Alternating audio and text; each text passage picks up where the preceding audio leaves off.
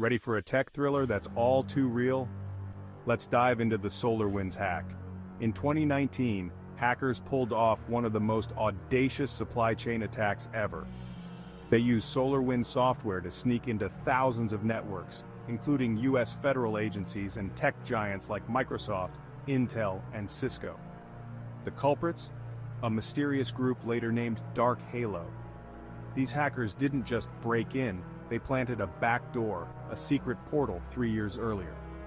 When the time was right, they waltzed back in and stole sensitive data, undetected.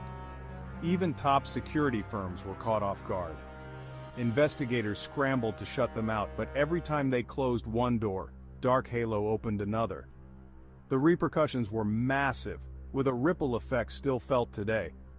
So next time you hear about a major hack, remember the SolarWinds saga, a chilling reminder of the vulnerability